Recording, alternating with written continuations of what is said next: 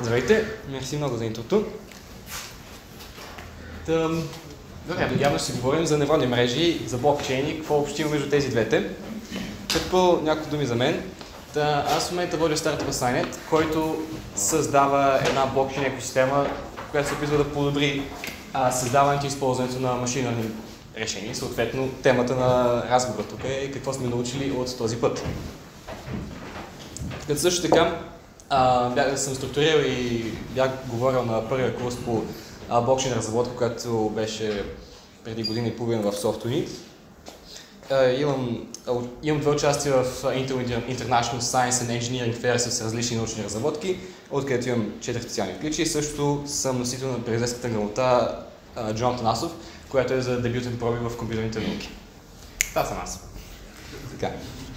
Окей. Okay. Изкуствен интелект, ами той е цяло навсякъде и няма смисъл да ви говоря колко навсякъде. Има го в диктовките, в всички гласови асистенти, има го в Google да ни даде различни рекомендации относно какво искаме да а, пишем, има го в снимките, снимковото разпознаване на Facebook, дето автоматично ни разбира и ни, и ни даже ни казва дали искаме да, да се тагнем някъде. И даже нещо ново, което ме изненада, в Google Photos, ако имаш някакви снимки и напишеш търсачката нещо, което няма по принцип го няма в имената на снимките, примерно написал съм там uh, stage, ще ми излезе смисъл снимки с stage. Което пак е интересно, защото е някакво равно приложение на тези неща и като цяло може да пишем какви си искаме неща и е интересно колко точно успя да ги намира. И всъщност, а, горе преди година и половина, или даже две години бих казал, започнах и аз работа по нещо свързано с изкуствен интелект. Тогава се опитвах да анализирам блокчейн данни, заедно с ментора ми Тодор Колев и съответно от, от този анализ да се опитам да създам дълбоки невронни мрежи, които да прогнозират съответно бъдещите цени или ценови движения на криптовалутата Ethereum. Като това последствие стана публикация, която беше приета в uh, журнала за Algorithmic Finance, което е доста интересно и предстои още публикуване, но важното е, че е прията и ще се случи. И да. И горе така, така стоят нещата с предишния ресърч. Имаме данни, имаме тази черна котия, която е тази дълбока невронна мрежа и имаме изход от тази невронна мрежа. Супер. Също нещо друго, което ми хвана окото напоследък е Google Асистента и как той може да ни прави телефонни обаждания за нас. Сега, ако аудиото работи, ще бъде... Опа. Добре, така. Няма да работи. Hi, haircut for a client. Um, I'm looking for something on May 3rd. Sure, give me one second. Mm-hmm. Sure, what time are you looking for around?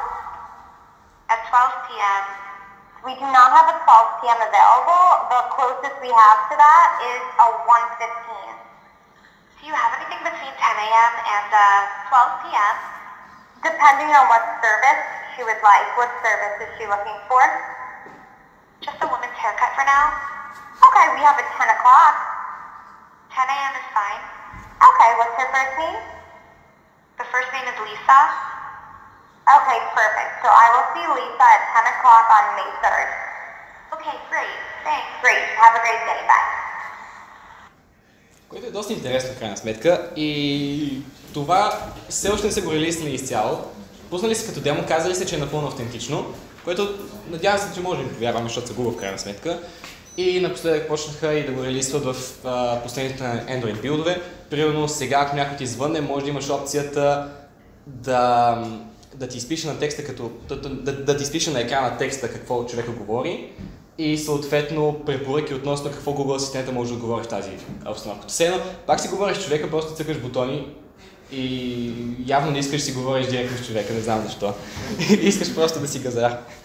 Така, да, при всички ситуации това е интересно. И как работи всъщност крайна сметка е, че тези невронни мрежи са просто една blackbox функция, която се опитва да свърже някакъв вход, някакъв дейтсет, някакви относително недобре филтрирани данни, които са относително случайни, до някакъв изход, който ни искаме. Примерно, най-основният пример при приложение на на дълбоки невронни мрежи или като цяло на невронни мрежи е снимково разпознаване, където входа ни е снимка на каквото иде и изхода ни е вероятност какво, какво алгоритъма мисли, че се съдържа на тази снимка. И примерно този алгоритъм е създаден да разпознава три вида снимки на котки, на кучета и на мишки. И примерно, когато има снимка на куче, ще ни, ще, ще, ще, ще ни каже, че е най-вероятно да бъде куче. Супер. И сега въпросът е как точно моделираме тези функции и как точно може да ги създаваме така, че да извършват нещо, което за сега изглежда малко като science fiction. Ами на погледнато, дълбоките невронни мрежи са просто последователство от, от слоеве. Тоест имаме входа, имаме изхода и имаме някакви слоеве, които променят данните последователно. Съответно, влиза снимката, всеки слой е определен тип операция, която се прилага върху данните, така че, промяна, така че я променя по един или друг начин и накрая стигнем до изхода. Като слоевете имат нещо нареченото параметри. Тоест ние, ние казваме, искаме да имаме ето тези слоеве с тези типове операции в този ред, свързани по този начин. И обаче всеки слой не казваме точно точно каква операция да извършва, защото всеки, всеки слой има нещо те нареченото свободни параметри. Тоест все пак някакви параметри, които трябва допълнително да се настроят. Примерно, най-простия, най- най-простия пример за слой е умножаване с матрица. Тоест ние като дизайнери на, на един дълбок алгоритъм казваме, този слой умножава матрица. Не казваме точно какви са, какви са точно стоеностите на тази матрица, казваме, че е матрица с такива размери и толкова. Останалото са свободни параметри, които трябва да намерим някакъв начин да, да намерим точните параметри, за които когато вкараме снимка на куче, изхода ни казва, че е куче. Което е много интересна задача и умните математици са измислили нещо нареченото backpropagation, или това е начинът по който всъщност дълбоките невронни мрежи се тренират. Тоест, ние като дизайнери на алгоритъма казваме, имаме тези последователца от, от типови операции. Супер. Първоначално, нека да сложим някакви напълно случайни параметри там. И най-вероятно, като вкараме някаква снимка през невронната мрежа, най-вероятно тя, ще каже нещо тотално грешно, защото и тя самата мрежа не знае къде се намира. И идеята е, ако имаме дейтсет, което е поредица от в случая снимки, за които им знаем правилния отговор, може всъщност да настроим параметрите, ето тези параметри, така че всъщност в последствие да, да ни дава по-точен отговор. И това се нарича, и, и, и, и това се нарича тъй нареченото трениране на дълбоки невронни мрежи.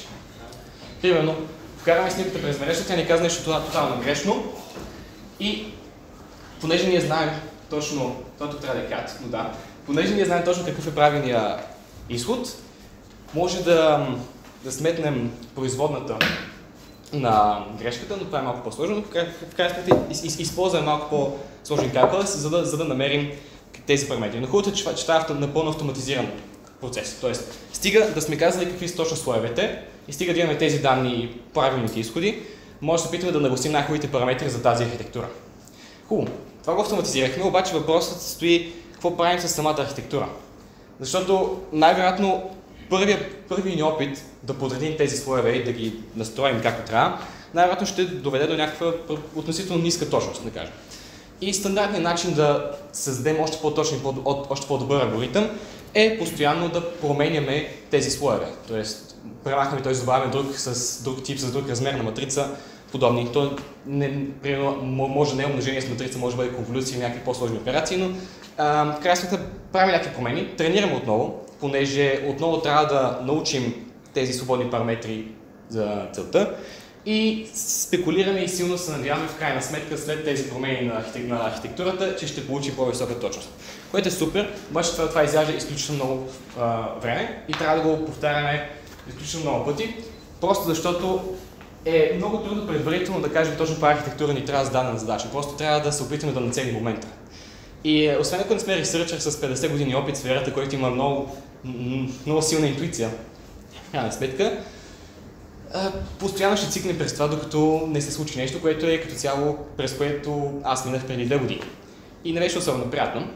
И рано времето единственият момент тук, където се изисква човешка намеса, е всъщност при промяната на параметрите. И за сега се изисква човек да наблюдава какво се е случвало до сега, да, да, да наблюдава а, всички експерименти до сега и да види, окей, как мога да променя архитектурата, така че да, като я тренирам, да, да, да достигне по-голяма точност.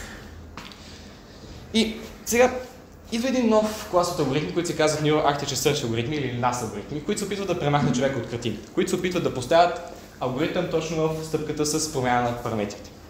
Или по-конкретно, има някакъв контролер алгоритъм, който постоянно предлага как да се промени дадена архитектура, така че да се увеличи перформанса. Тоест, контролерът постоянно пробва различни конфигурации получава перформанса за, за тези конфигурации и постоянно цикли така така, докато не се опитва да също да научи точно кои конфигурации са много печеливши.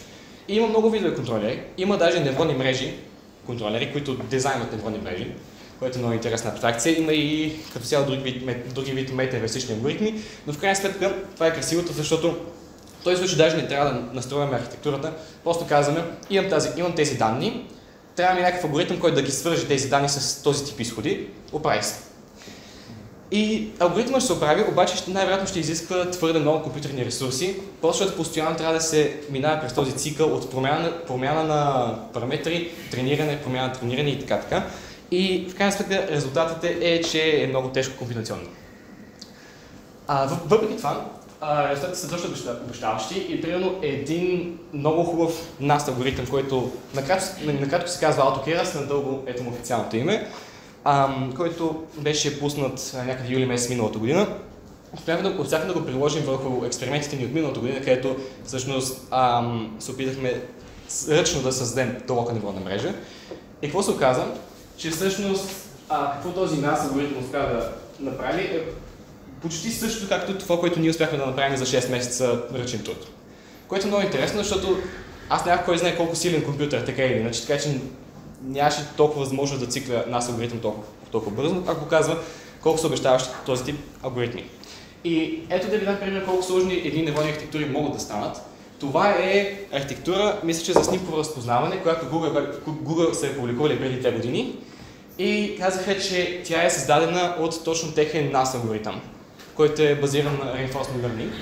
Но като цяло има, понеже има безкрайно много начини да подредим тези слоеве и да ги ам, настроим, в крайна сметка се оказа, че този NAS алгоритъм на Google успя да създаде мрежа, която е значително по-точно от всички останали, които са били направени от хора в историята на човечеството, което е много интересно. защото това стана абсолютно автоматично. Ху. Обаче стигаме до един интересен проблем. И това е централизацията на тази мощ. Понеже нас алгоритъма, главната му пречка е нужните компютърни ресурси, в крайна сметка тези, които имат, които имат най-много ресурси, имат възможността да създават най-точните алгоритми, което крайна сметка, ако искаме да имаме един хубав пазар, една хубава економика с конкуренция и всичко, на, всичко най-без тотални монополи, дето да контролират абсолютно всичко, някакси сегашният модел на нас алгоритмите много не ни устроява. И нека да погледнем блокчейн, защото блокчейна е един много хубав пример как да, как да децентрализираме а, примерно една економика или една екосистема. Защото, примерно, от, от биткоин имаме една група от компютри, които сформират консенсус относно как да изпращат а, парични транзакции един между друг, без да има нужда от централизирана банка, което е супер. Значи, не може да измислим някакъв блокчейн, в който имаме група компютри, които сами си колаборират относно това да създават AI решения. Един вид да създадем един NAS алгоритъм, който се изпълнява в цял блокчейн едновременно. Така че без значение колко са големи тези централизирани а, сили, в крайна сметка блокчейн мрежата може да бъде конкуренция за това. И това е нашата хипотеза в крайна сметка. И въпросът е, че сме измислили интересен начин как това може да стане. Като, да кажем така, създаваме една блокчейн мрежа и в тази блокчейн мрежа имаме три главни участници. Въз на това как, какви ресурси даденият човек може да инвестира в създаването на тези машини решения. Така, първият тип участник в, в такава мрежа е Data Node. Data Node създава, ам. Data Node по, по, по някакъв начин има достъп до външни данни или, има, или, или изпълнява алгоритми за обработка на данни и съответно продава тези данни на блокчейн. Супер. Това е примерно Oracle, да кажем. Вторият тип нод е NAS нода. Това е, комп, комп, това е компютационният нод. Това, е, това са един вид аналог на майнерите в биткоин. А, тези NAS нодове купуват данни от тези нодовете и вътрешно изпълняват NAS алгоритъм. Съответно, използват техните видеокарти, понеже невроните мрежи тренират най-добре на видеокарти, за да може възможно най-бързо и възможно най-качествено да създават такива машинни решения. И да кажем тези NAS нодове, има, примерно в, в една блокчейн мрежа има много такива NAS нодове паралелно, те постоянно взимат данни от различни източници, защото нали, идеята е да, да децентрализирана система, идеята е, че примерно ще имаме 10 000 дейта нода и един нас нод може да реши, окей, сега ще взимам данни от този нод. след 15 минути ще взема данни от този нод и постоянно може да се експериментира относно откъде може да се вземат данни и съответно как, колко, са тези, колко качествени са тези данни, ще, ще, ще се покаже относно колко точни AI решения създава този нас нод вътрешно. Супер.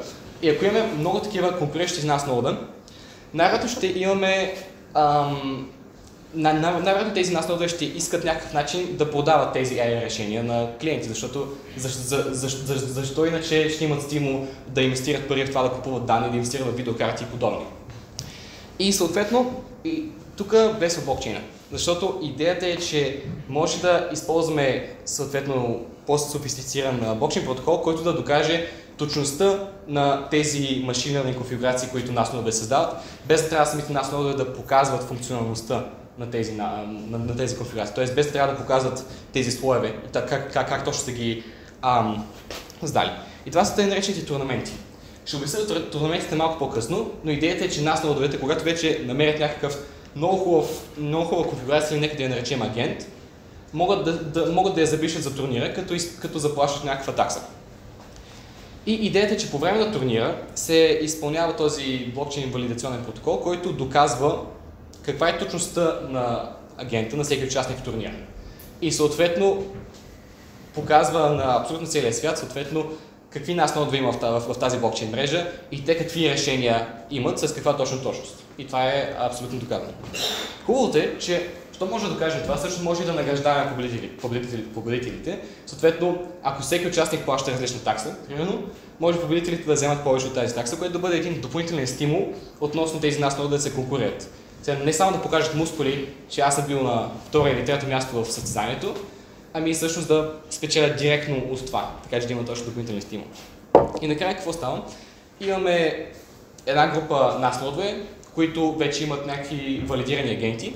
Всички знаят колко добре са тези агенти и тези, и тези най-вероятно ще искат да ги продават до външни клиенти, където идва трети участник в, тази, така потенциална мрежа и това е клиент нода. Съответно, стандартният модел е, че ако някакъв нас нод вече е валидирал своя агент, т.е. вече го е минал през турнира, ам, той може да хостне, той най-вероятно ще иска да хостне този агент за сервис вътрешно си. Тоест, ако примерно този агент решава проблема криптотрейдинг, т.е. дава реал-тайм сигнали относно кога да купуваме и кога да продаваме крипто, то нас нода може да каже така, ако ти ми платиш за еди какъв си период от време, аз по някакъв частен канал ще ти изпращам и на реал-тайм какви са прогнозите от моя агент. Това е супер, защото всъщност клиентът изобщо не се занимава с това да, всъщност да сваля някакъв, някакъв външен модел и да го изпълнява вътрешно. И нас нодовете си запазват, ам, си запазват всъщност собствеността върху тези агенти. Тоест те, те, те само ги дават за сервис и всъщност ам, никой не може да им, да им ги открадне, понеже те никога не напускат нас на вълна. Което е много интересно, защото ам, това е една, вика, цялостна економика. Едно, ако имаш хубави данни, имаш стимул да ги продаваш, съответно ще бъдеш възнаграден за това, защото нас ще иска да купуват хубави данни, за да създават хубави агенти, за, за да печелят турнирите, за да печелят клиентите. И понеже, конкурент, понеже всъщност имаме конкурентна среда, където м- не е просто, че имаме няколко души, всеки от които спорят кой е, има по-хубав машин learning solution и кой не, а всъщност блокчейн доказва, доказва тази точност, съответно имаме истинска, и, съответно имаме истинска конкурентна среда, което означава, че това значително може да свали цените за достъп до тези, до, до тези алгоритми като цяло. Тоест, ам, не само тези нас да получават повече експожа в такъв блокчейн, не само, че могат да печелят от турнирите и че могат да се рекламират пред клиентите, а и самите клиенти могат да могат индивидуално да, да купят доста такива решения на значително по-ефтина цена. Което е много интересно като цяло приложение на блокчейн технологията, понеже доста пъти до сега чисто се говоря за някакви токени. Тези токени правим някакъв продукт, използваме токени в този продукт. Не знам защо точно ни трябва токени в този продукт, обаче има блокчейн, така че защо не. Така. Така че това е един хубав пример за утилитито на блокчейн, като по-късно ще покажем как точно това може да се имплементира технически, защото все пак това е техническо събитие и как може това да се на, да гони. Хубавото на това е, че, както споменах, скалира хубаво. Т.е. може да има много, много дейт нодове, много нас нодове. А, много участници в турнира и много клиенти в крайна сметка. И колкото повече различни източници от данни имаме, толкова по-хубаво, защото толкова по вече е вероятно нас нодовете, като се опитват да си изберат източник от данни, да попаднат някой ценен хубав и в крайна сметка да си подобрят точността. А, другото хубаво нещо тук е, че м- понеже като цяло търсенето на невронни архитектури, т.е. както нас алгоритмите работят, е относително случайно. Т.е. ако почнем от различни случайни точки да търсим в това пространство от, от, от, от възможните добри решения, най-вероятно ще успеем да покрием по-голяма част от това пространство, пространство от, възможните добри решения. Тоест, като мултитреднем търсачката, търсачката става горе-долу по-хубава и не само по-бърза, ами по-точна на програмистски термин. Сега, сега как, как работят турнирите всъщност? Ами в крайна сметка имаме тези наречени валидатори, които са горе как, както са стандартните валидатори в различни блокчейни. И те са отговорни за това да валидират точността на съответно агентите. И какво става? Примерно, аз имам този настанод и искам да валидирам този агент. Ами, тук зависи точно от конкретен тип проблем, но примерно ако проблема е real-time prediction, примерно давам ти купи-продай сигнали на, за биткоин и долара на всеки един час. И в такъв, в, в, в такъв сценарий ще имаме един валидационен период, примерно с 24 часа. И за тези 24 часа, за всеки кръгъл час, ще, валидатора ще иска от нас нода да му изпрати реал-тайм своя, своите прогноза от агента. И първоначално, понеже не искаме валидатора директно да, да се възползва от тези сигнали, така да търгува, все едно аз, аз ако искам да остана валидатор да получа достъп до всички сигнали и на реал тайм съответно да, да печеля това, първоначално тези сигнали са криптирани с AES. крипция и след, след, след самия валидационен период, т.е. след тези 24 часа, когато вече предишните са история, а нас много да изпраща и decryption key. И какво става, че валидаторът всъщност хем знае, че е получил точно тези прогнози в точно тези времена, хем не може да ги отключи предварително и хем, когато получи decryption key, той също може да сравни с това какво се е случило наистина в пазара, при цените и може да види колко точен колко точно са били точно неговите прогнози на този агент. И накрая, примерно ще имаме няколко валидатора в, в, в, в, в такъв сценарий и всеки валидатор ще си изпрати своя ранкинг в блокчейна. Своя ранкинг, т.е. как той според него вижда класирането на тези агенти понеже ам, до, до известен степен това е малко по-субективно. Тоест, един валидатор може да сметне, че перформанса на един агент е 25, другия може да сметне 24,99 и подобни. Когато правим floating point аритметика или като цяло, когато, имаме, когато опитваме малко по-сложни процеси да ръкваме паралелно, все ще има някаква разлика. Така че всеки валидатор си изпраща неговата гледна точка и после блокчейн консенсус взима медианата на всички резултати. Тоест, за, за, за, за всеки агент сортираме всички, всички перформанси, които са изпратени от валидаторите и вземем съответно медианата, което означава, че дори 50% от валидаторите да се опитат да лъжат, да се опитат да пласират някой агент, като може би той не, не, не, не е добър, обаче се опитат да му каже, че има 100% accuracy. Дори, дори ако 50% от валидаторите се опитат да лъжат, това пак ще работи окей. Okay. Което е много хубаво. Добре. И като цяло, това е интересно, първо, както споменах, защото това се дава финансови стимули за, абсолютно, за, за всеки участник да участва тук. Тоест за дете провайдерите, за нас нодовете или също те наричате майнер нодове, както ние си ги наричаме, и за клиентите. И а, не само, че всеки е награден пропорционално на неговата инвестиция, и всъщност имаме отворен достъп до тези, до, до, до, до тези машинни решения, така че те не са, те не са заключени пред затворени врати, а, както при стандартния модел.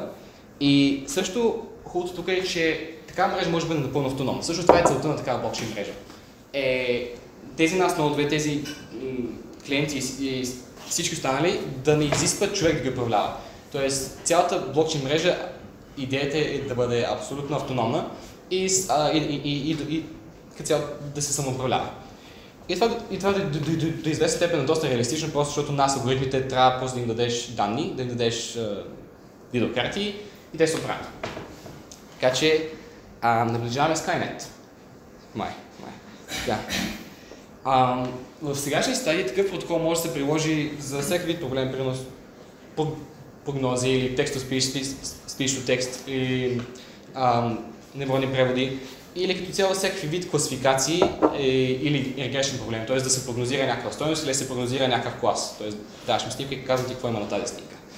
Или reinforcement проблеми. Примерно, когато имаме някой, някой невронна мрежа, която се опитва да, да стане много добра в игра, или някой невронна мрежа, която се опитва да се научи, окей, как, как най-добре да маневрира една виртуална автономна кола, така че да се справи възможно най-добре. Това са видове на reinforcement проблеми и това е приложимо и може да бъде доказано като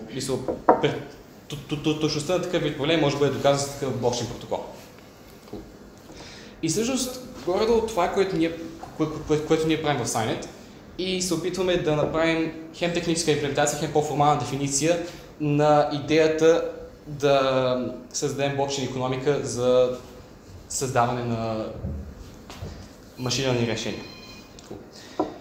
Като а, също, също сме написали един white paper, който включва съответно по-стрикта дефиниция на блокчейн протокол.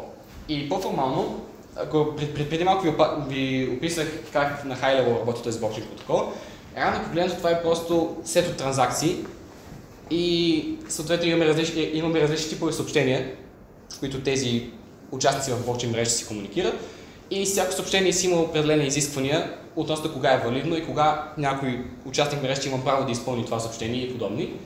И всичко, крайната може да се, може да се спите до, до един сет от 10-15 относително прости съобщения, което е интересно тук. И въпросът стига, окей, как може това рано, рано погледнете да го имплементираме? И тук идва TenderMint всъщност. TenderMint е ам, една рамка за писане на стейт машини в блокчейн. Под state машини какво има предвид? Това има предвид приложения, които приемат като източник, като, като, като input като цяло, като, като контролен input, само едно място.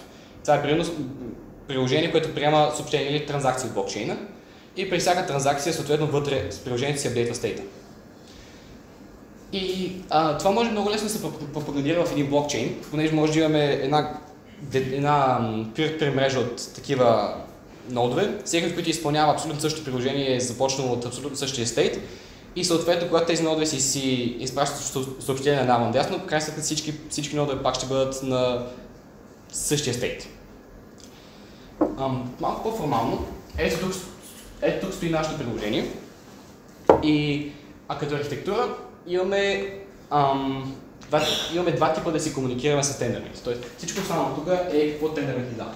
Тендерът дава това те нареченото ABCI който е един протокол, с който нашето приложение може да комуникира с самия блокчейн. Ам, първото нещо, което става, е ако някой ноут в мрежата изпрати някаква транзакция, опитва се да я изпълни, ние веднага ще получим съобщение check, check transaction през ABCI и съответно, и съответно логиката на нашето приложение веднага ще каже, окей, тази транзакция е валидна ли е или не е валидна, понеже искаме това да е късна логика, искаме това да го абстрахираме в само една единица в тази архитектура.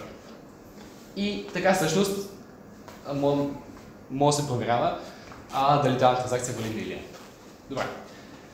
И а, когато всъщност се, се създаде нов блок в, в, в тази мрежа, всъщност Tendermint така и управлява създаването на блоковете. Тоест ние не трябва да пишем логиката за създаването на блоковете, за пропагандирането на транзакциите. Само трябва да кажем кога транзакция е валидна и когато вече ни дойде блок, Всъщност този блок пак, пак го получаваме през ABCI и директно го изпълняваме вътре. Тоест, апдейтваме системата на приложението вътрешно и всичко е точно. И всички останали действия, всички останало boilerplate в един стандартен блокчейн, се абстрахира на ниво Tendermint. И ако искаме, може да оверайдваме някакви функционалности там, но идеята е, че е изключително лесно да се напише едно Tendermint приложение. Така на по-хай лева, нека да обясни всъщност как работи Tendermint вътрешно, защото сега казах, окей, Tendermint е много красиво, Tendermint някаква черна котия. И в крайна сметка, всичко започва от това, че Tendermint има логика как да избере новия създател на блока. Примерно, използваме of Stake, за да изберем някой псевдо, случайен участник от мрежата да създаде даден блок. Понеже първоначално преди да се създаде блок, всички си изпращат заявки за транзакции навсякъде и съответно всички приемат и чуват какви заявки за транзакции и явно трябва да се изпълнят в тази блокчейн мрежа. Съответно, когато се избере някой ноут от тези да ги пактира в блок, той избира кои транзакции да вкара, които най-вероятно би трябвало са всички и ще ги, и, и, и ги пакетира в блок и ги изпраща на всички останали в блокчейн мрежата. И тук имаме две степени на гласуване, за да сформира консенсус в тази блокчейн мрежа, да сме сигурни, че този, който е пакетирал транзакциите, не е променил нещо или не е измамил по някакъв начин. Така, блок, блок, блок пропозъра изпраща заявка за т.е. Из, из, изпраща неговия създаден блок на всички останали, след като той, той е избран за блока. И съответно всички останали валидатори на блокчейн мрежата имат две опции първоначално. Или да кажат, че са получили нещо от този, валида... от, от, от този а, пропозър, или да кажат, аз не съм получил абсолютно нищо. Тоест, първото гласуване е чисто има нещо, няма нещо. И ако поне две трети от валидаторите в даден времеви период, в дадено времеви ограничение, гласуват, че са видяли блок, продължаваме с следващата стъпка на гласуване. Ако това не се случи, просто дръпваме този блок пропозър и избираме нов. И така завъртаме цикъла отново. Но да кажем, че ако поне две трети от валидаторите, по-скоро не две, не две трети от валидаторите като бройка, а две трети от uh, voting power в мрежата, понеже различни валидатори могат да имат различна тежест на техния voting power. Това е също нещо, което нашето приложение казва. Нашето приложение се казва, окей, тези нодове стават валидатори и тези нодове имат еди каква си тежест на гласа. И ние може да си пишем каква си искаме къстъм логика, за да създаваме валидатори, за да ам, так цяло, за да се разпространяват валидаторите. Може да бъде proof of stake, но може да бъде каквато и друга къстъм логика. Но супер. Кажем, че две трети от консенсус силата на мрежата е казал, че, че, че е получил блок от този въпроса. Следващ, следващия рунд за гласуване е всъщност да, да, да се изпълни този блок вътрешно и съответно валидаторите да видят дали този блок е валиден. Тоест, дали някоя транзакция не е променена случайно или, ам, или някакви други условия относно, примерно, блок таймстампа и подобни неща. Така. И съответно, валидаторите или казват, окей, този блок е 100% окей и няма никакви проблеми, или казват, тук нещо не е наред. Съответно, ако, не, ако нещо не е наред, нов, из, избираме нов, нов, нов, блок пропозър и до тук. Обаче, ако поне две трети от консенсус силата на блокчейн мрежата гласува, че е видял, че, че, че е видял блок и че този блок е валиден, супер, вече този блок е абсолютно финален, абсолютна истина. Няма никой на света, който да ни каже, че този блок не е истина, понеже вече две трети от валидаторите са подписали, че този блок е истина. И това е другата интересна способност на Tendermint, що е, е, има тъй нареченото Instant Finality. Тоест, за разлика от биткоин, където ако се създаде някой блок, все още е възможно някой друг човек да се опита да, да, да създаде альтернативен блок, т.е. Да, да, да, да създаде форк и да, и да продължава да развие този форк отстрани, просто по, по нещо, по което Proof работи. Но тук правилото е златно. Казва, ако две трети изолятори да го подпишат, това е абсолютната истина и повече никой друг не може, не, не, не, не може да се опита да замени този блок с някакъв друг. Супер! И стигаме до завършка на цикъла, където след примерно даден блок тайм, даден тайм-аут, избираме нов пропозър и минаваме през цялото това нещо. И всичко това ни го дава Tendermint, което е като доста голямо улеснение, защото не само ни дава, ни позволява да, да се пропагандират транзакциите, а просто ни позволява да, като override три функции в тяхното API, в най-основния случай, може вече да имаме напълно функциониращ блокчейн без кой знае колко много зор. Но може да стане още по-лесно, защото ние програмисти сме доста мързеливи, така че винаги гледаме възможно е лесното. Така. И най-лесното е трениращото Cosmos SDK. Сега, ако Tendermint ни дава тази рамка да си обраднаме тези функции на API и да си напишем вътре стейт машината, то Cosmos също ти позволява да си напишем тази стейт машина или това приложение по възможно най-лесен и директен начин. Така. Та, накратко, Cosmos SDK се опитва да модуляризира цялото писане на блокчейн приложение. Тоест ние казваме, в нашето приложение казва, ние имаме еди какви си модули, всеки модул си има вътрешен стейт, всеки модул си има логика за менеджиране на този стейт и съответно всеки модул си има определени типове транзакции или както се наричат в Tendermint съобщения, които обработва. Съответно тук, тук, тук, тук се дефинираме си всяка вътрешна наша логика. И когато имаме еди си модули, съответно когато дойде транзакция от Tendermint, тя автоматично е изпратена до модула, който всъщност обработва този тип транзакции. И модул веднага казва, окей, тази транзакция е валидна, невалидна и това е всичко точно. И всъщност, да, това е като цяло на, на, на, на много high level как работим и хубавото в Cosmos е, че може много лесно да си слагаме нови модули, които са вече готови. Даже има няколко официални модули. Всички тук като цяло са официални модули, които направо си ги дърпваме и вече имаме тази голяма функционалност. Примерно, ако искаме Proof of консенсус, слагаме стейкинг модула и изведнъж този стейкинг модул дефинира типови транзакции, които казват аз заключвам еди, е, е, еди какви си токени в този адрес и ставам стейкър, ставам стейкър в мрежата, ставам валидатор. И съответно този стейкинг модул, като получи тази транзакция, заключва тия токени наистина в вътрешния си стейт и апдейтва термомит и казва, окей, този, той, той, той пише тук стана валидатор с еди каква си voting power. Примерно, банк модул пък може ни, ни да много лесни, много, много лесни методи да се дефинираме криптотокени.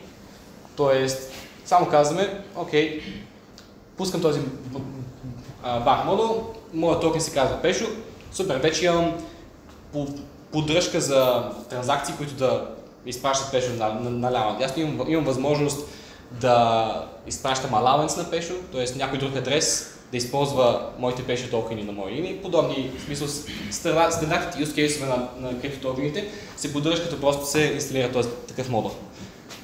Така че, ако по-рано да използваме Tendermint беше добре да имаме три функции, тук да използваме Cosmos е просто да си сложим 5 модула и да напишем четвъртия. 6 май. Добре. Също. Да. Ами, нека да покажа няколко демота, за да, за всъщност да, да видим какво е чувството, за да, да, да си пишете Tendermint приложение. Ами, ето, е, ето това е папката, с която ние сме експериментирали с Tendermint, точно как да си имплементираме нашия блокчейн протокол. И в, в най-основата си имаме едни 4 файла, които трябва да дефинираме, за да дефинираме нашия модул. И, и, и, и всичко се пише на Go. Някои хора много го обичат, някои хора не могат да го търпят, но е достатъчно лесно, че, кой, че който да е човек да го преглътне. Аз лично малко трудно ми е да го преглътна, ама се налага. Така, Go. Всичко започва от кипъра. Тоест всеки модул си има кипър, който какво дефинира? Дефинира стейта на този модул. Тоест, а, ето си, си, си дефинираме някакви наши си вътрешни структури, примерно агент. Ето това са пропитите на един агент. Супер. И съответно в нашия кипър казваме, окей, ето тук и, и, имаме state, който е тип key value store и съответно използваме този key value store, за да си стораме някакви, някакви агенти, примерно. Тоест тук има малко boilerplate, но примерно вече след като сме си дефинирали базата данни, т.е. откъде взимаме и записваме, което пак ни се дава от Cosmos SDK, просто искаме, просто казваме, окей, ще използваме, ще използваме key value store, вече ще пишем самите методи за, за, за запис и четене на обектите от този, от този стейт. Съответно, примерно, метод get, getAgent ще вземе нашата база данни и ще се опита да вземе на този key валюто на агента и да си го направи в вътрешния гол обект. Тоест тук е сериализирано, ще го десериализира. И ни връща директно агента като, като тип. Супер! И имаме и различни други helper методи, т.е. Не, не само да записваме стейта, но и да проверяваме някакви неща в стейта. Примерно, ако, да кажем, ако някой, ако някой майнер се опитва да регистрира даден агент с някакво ID, дали този майнер има правото да, да, да, да съответно да, да регистрира този агент. И примерно, тук взимаме си, ID, ID, взимаме ID-то на този агент, т.е. тези параметри, да кажем, ни ги дава от параметрите на транзакцията. След малко ще покажа как това става. Но как този метод взима ID-то на агента, взима адреса на човек, който изпратил транзакцията и проверя, окей, взимам си базата данни, а, съответно взимам си обекта агент и проверявам, окей, този агент създаден ли е, ако е създаден онера същия ли е, ако е същия, супер, вършаме true, иначе е false. И като цяло имаме други различни helper методи, които, примерно, ето тук, се създават а, допълнителни записи в базата данни. Тук се апдейтват някакви пропъртите на, на, на структурата агент, но като цяло спрашвате, че дефинираме си някакви структури, дефинираме си съответно каква база данни ще ползваме, което by default е много лесно ползваме тази от Cosmos директно. И всичко останало си го пишем като а, някакви CRUD методи. Супер.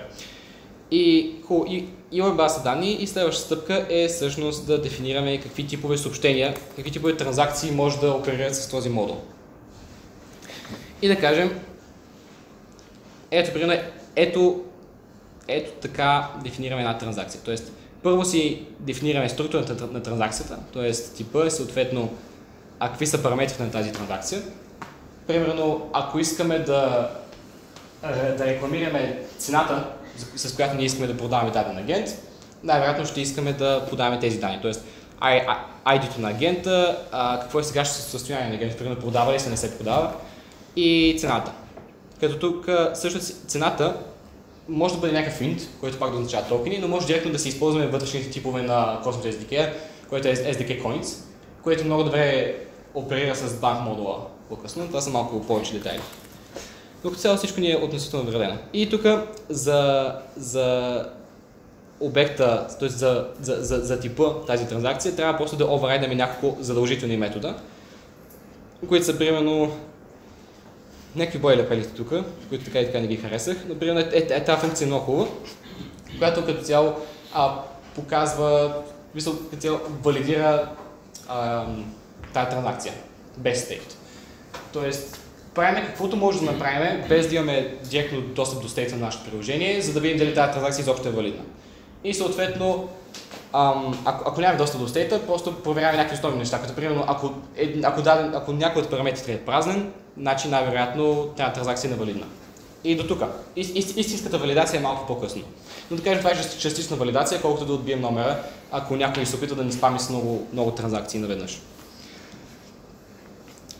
Ам, друга удобна функция на Cosmos SDK е, че всъщност може директно да й кажем, че дадено съобщение трябва задължително да бъде подписано от даден адрес. Защото иначе, ако нямаме някаква валидация, може всеки да се опита да изпрати съобщение, да каже аз съм Пешо, също да не съм Пешо, и да вземе парите на Пешо.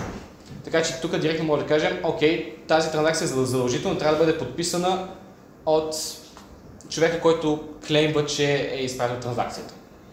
И ако това е подписано, супер, значи ти си Пешо.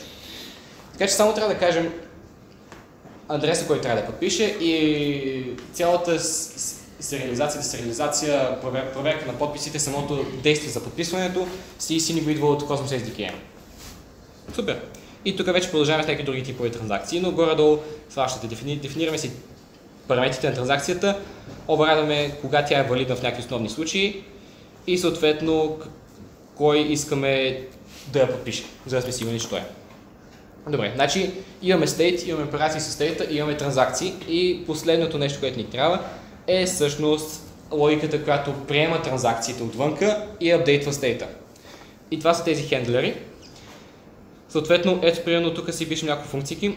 Примерно, ако получим транзакция uh, Publish Agent Price, т.е. тази транзакция, която ви показах по-рано, тази функция ще се извика. Тя ще получи съответната транзакция като параметър, като обект и веднага може да проверим всъщност, понеже вече имаме достъп до стейта, понеже ето, ето това е всъщност кипера, който ние, ние сме си дефинирали. Получаваме кипера, съответно получаваме достъп до всички CRUD функции в, в този кипер, получаваме транзакции и, и, веднага проверяваме. Окей, okay, извикаме кипера, кипера ни казва, окей, okay, може ли всъщност това ли е истински owner на този агент? И кипера веднага ще ни върне true или false и ако е true, просто гърмим. И съответно, ако, ако това е истински owner, всъщност си апдейтваме стейта, като викаме пак вътрешните функции на Keeper и всичко точно. Тоест това вече прави финалната валидация и финалното изпълнение на транзакцията. Тоест, много е важно първоначално да проверим всички случаи, в които тази транзакция може да, може да бъде а, грешна, съответно невярна, да, да, да проверим и да, и да, и да метнем exception тогава и чак когато това вече е изпълнено, си апдейтваме стейта и всичко точно. И като цяло това е, това е основната структура на един Cosmos, Cosmos SDK модул. Относително, гледаме даже за 15, 20, 30 минутки човек може да напише едно доста основно крипто приложение, да го деплоя в една цяла блокчейн мрежа, ако навие достатъчно приятели с компютрите си. И, и вече имаме някакъв опериращ блокчейн, което е много интересно и, и това е точно, точно заради това, като ние ползваме Космос. Ам, ако съм минал няколко ако, ако, ако, ако съм минал по-бързо тук, мисля, може да ме някакви въпроси. Има ли нещо допълнително, което бихте искали да изясна по техническата част? Защото продължавам с презентацията. Продаден. Моля? Ей, че... Кой те покани тук? Така. Супер. Бяхме почти на време. Ами, и хубаво. Значи, за мен да пиара накрая. Ам, като цяло, това, което ви, което ви представих е много допирни точки с това, което ние правим в, в Signet. И това е като цяло да дефинираме тази, е, тази екосистема и да позволим на всеки майнер, който като цяло не, не знае какво прави, само да се свали едно ръзе да го пусне и вече е абсолютно автономно, той си дърпа данните от някъде другаде на блокчейна и си ам, създава агенти, продава ги на пазара, из, измисля точно как, как да сложи цената, така че тя да е конкурентна и всичко останало е логика, която ние се опитваме да дефинираме в а, този проект. Като е 100% open source, както ви показах, това беше едно от GitHub репотата на проекта, а, всичко е под а, шапката на Comrade кооператива. И до сега сме спечелили около 400 000 евро финансиране, като главно 250 000 евро от Telelink и също от Eternity и сме си партньори с тях. Така че стават интересни неща. И също фун факт, ние изобщо не сме компания и изобщо не сме не знам, нещо централизирано. Ние правим блокчейн, ние правим open source екосистеми и е много логично вътрешно също да сме децентрализирани. Така че ние се водим кооперация. Което какво означава? Означава, че нямаме един собственик, който отговаря за абсолютно всичко. Всъщност имаме просто един екип, този екип си има и съответно тим лид, който поема повече отговорности и разпределя тасковете, но в крайна сметка този тим лид не може да ти каже, не, не, не може да каже на останалите, ти, ти, ти прави това, ти прави това, ти прави това, иначе няма получи заплата. Целта е хората сами да се разберат как да свършат работата и целта е всеки да има стимул също да го свърши това. И всеки по този начин може да вземе част от съответно отговорността за създаването на продукт. Защото едно да отидеш компания, да седиш там 8 часа на масата, примерно просто защото трябва да ти платят това и да изчезнеш след това и да ти пука за това, което рано за, за, за, за продукта, който го дигаш, нали, това, това е проблем на компанията, проблем на шефа. Това, точно това е нещо, което ние се опитваме да оборим вътрешно. И затова това е радо, един много интересен експеримент. горе сме беше на година-две и за сега се развива, за, за, за сега се развива доста интересни нещата. И... Да. Интересно. Хубаво. Ами, мерси много, че ми слушахте. Ето моите контакти. Ето Mandatory PR за следващото събитие. И нека, ако искате да отворим Q&A сесията и после самата нетворкинг част.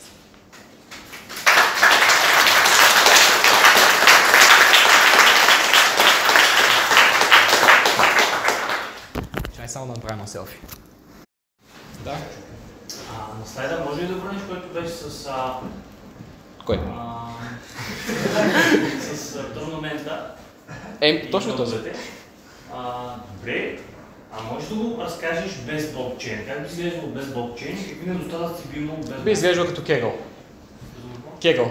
Kegel е един, една, една веб платформа, която позволява на хора или който иде като цяло да създава невронни мрежи. Тоест, смисъл, позволява на хората да изпращат техните невронни мрежи и съответно Kegel вътрешно ще, ще прецени колко точно тези невронни мрежи. Примерно идва някоя компания при Kegel и казва, аз имам този проблем, ето, е, е, ето ти данните за този проблем. Kegel се задържа част от тия данни за тест, публикува останалите за, в комьюнитито и казва, най-добрият, който създаде невронна мрежа, която решава този проблем върху такъв тип данни, ще спечели 250к. И съответно има много хора, които, които се състезават това да се случи. И в крайна сметка много хора си изпращат тези невронни мрежи и те се евалюират вътрешно на серверите на Kegel.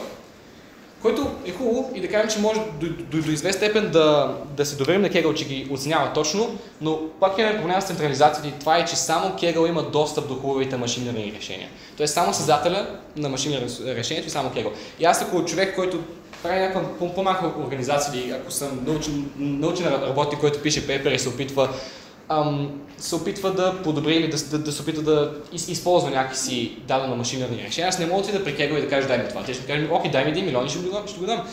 Ам, така че цяло, мисъл, идеята на тази блокчейн економика е да бъде отворен пазар. Така че всички участници хем да са наградени, хем клиентите в крайна сметка, като цяло всички хора в крайна сметка да имат достъп до това. Да? Доколкото разбрах, невронните мрежи а, те се тренират на база на данните, които им даваш. Тоест ти колко повече данни им даваш, те толкова повече а, нали, стават, AI, Точно. AI стават точни. Което значи, че това зависи от мощността, мощността на машината. Е, От, мисъл, кое, кое зависи от мощността на машината? точността на AI. Ако имаш същите данни, едни и същи, имаш бавна машина и бърза машина, накрая ще стигнеш до абсолютно същата точност на AI, ако тренираш е, е, еди колко си компютърни стъпки напред, но просто една, една, едната машина ще го свърши по-бързо от другата. Да, е. Ако тренираш. Обаче, ако и рънкаш нас алгоритми на две различни машини и те използват абсолютно същия датасет, двата нас алгоритъма ще си се инициализират, т.е. те първоначално нас алгоритъм как работи, генерира се някаква абсолютно случайна невронна мрежа оттам започва да гради и да оптимизира. Съответно, двата, двата нас алгоритма, като си създадат две случайни мрежи, вече не знаеш коя, коя, коя всъщност ще стигне до по-хубаво решение. Понеже, да? По-бързия компютър а, не се знае дали ще свърши по-бързо. Не можеш да го гарантираш, но най-вероятно по-бързо компютър ще стигне по-бързо до, до самото решение, откъдето идваме стимула на нас, нодовете, да инвестират възможно най-много компютърни ресурси. Тоест не мога да кажем първите топ 10 компании в света, IT компании се съберат да инвестират пари да си направят собствен private блокчейн и да си стрелят в космос. А виж, те реално погледнато, и, и, все още могат да се опитат да си стрелят блокчейн в космоса и без да им трябва блокчейн. Обаче хубавото тук е, че колкото и да имаш централизирана мощ на едно място, ако някакси пак започваш, мисля, да, кол, колкото и да ти е бърз компютър, ако пак започваш от, от, от едно място и итерираш на там, не е сигурно откъде ще стигнеш. Тук имаш много паралелни процеси, които пак итерират паралелно, пак е по-вероятно да стигнеш до някъде. Но да, ако ако всички на света се съберат да си направят, да я знам, AI, те пак ще изстрелят в космоса, да, ама с всички на света. Ама ще, са- ама ще са всички да за това трябва. Точно така.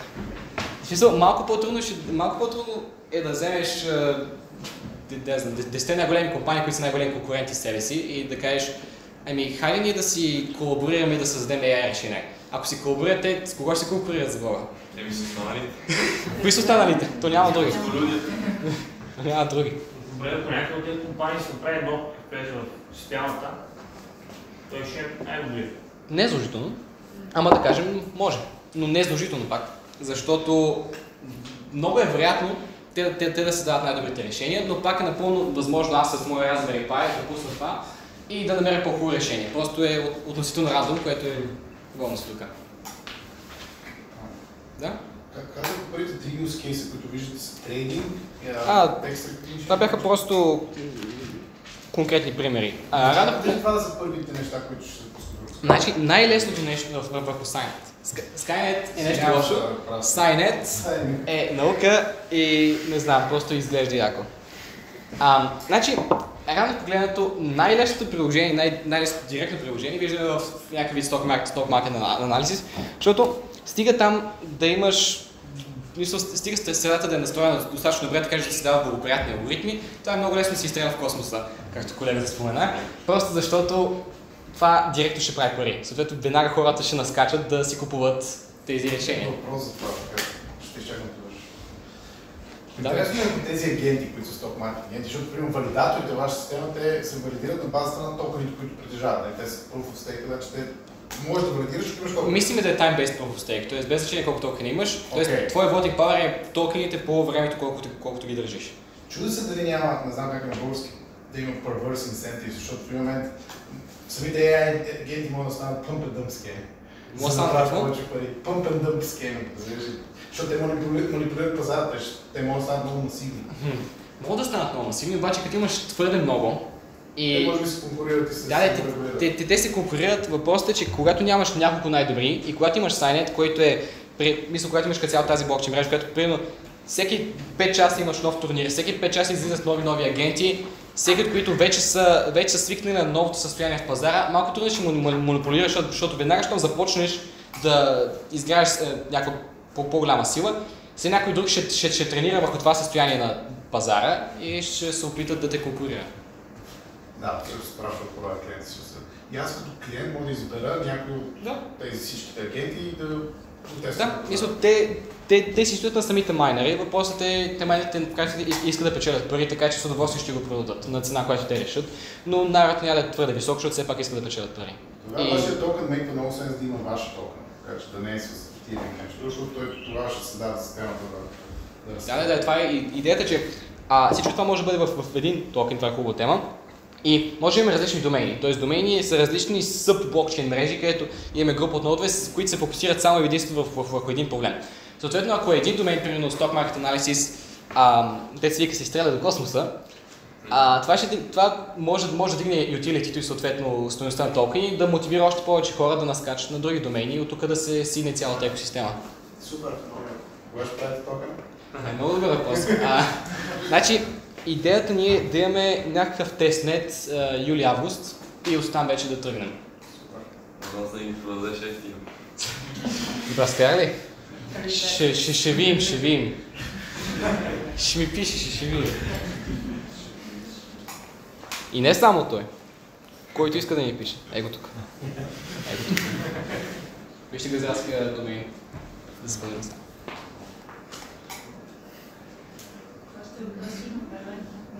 Все някой ще усмили, ако чакам достатъчно дълго.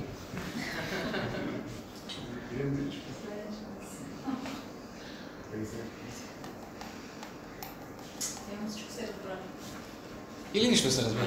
Надявам се всичко обаче. тогава благодарим